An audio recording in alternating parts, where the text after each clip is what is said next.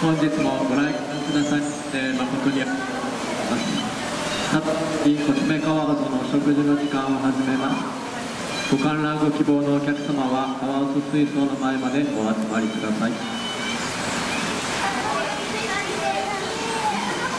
はい、お待たせいたしました。それでは早速始めていきます。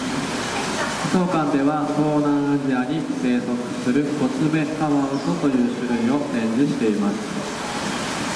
今炊いているのは魚のアジやサバをぶつ切りにしたものを与えていますが、自然界では魚以外にエビやカニ、カエルなど上手に捕まえ食べます。器用な前足と鋭い歯を使って獲物を逃がさないようにしていますコツメカワウソの特徴は名前にもあります通り小さな爪が生えているのが特徴ですまた指の間には水かきがありまして上手に泳ぐことができます。口の周りにはヒゲが生えています。このヒゲは感覚器の役割をしていますので濁った川の中でもぶつかることなく泳げます。餌を探す際にはこのヒゲがセンサーとして役立ちます。全身は毛で覆われておりこの体毛は水を弾く構造をしています。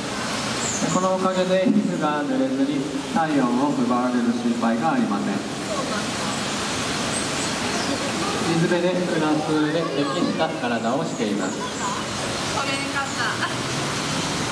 コツメカワウソは家族単位で生活しまして尾の付け根にある臭腺というところから匂いを出します。その匂いを石や流木にこすりつけその中を縄張りとして生活します。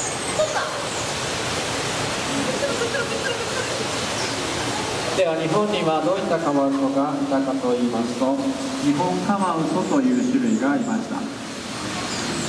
かつては北海道から九州まで各地に生息していましたが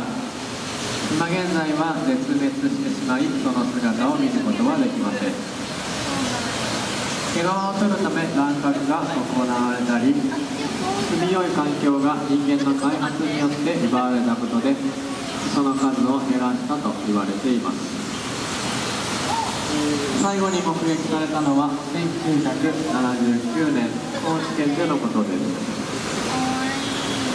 その後30年以上見つかっておらず2012年8月に環境省が絶滅種として指定しました。コツメカワウソより体の大きい動物でコツメカワウソの体重は3キロから4キロほどですが日本カワウソは5キロから8キロ。大きいものですと10キロを超えていたようです。その姿形からカッパ伝説のモデルとも言われます。非常に残念な結果を名乗った日本カワウソですが今現在絶滅の危機に瀕している動物はたくさんいます。そういった動物たちと共にうまく共存するためには何ができるのか少し考えていただけると幸いです。それではこちらの伊藤の時間は間もなく終了となります。この後も館内ごゆっくりご覧ください。ありがとうございました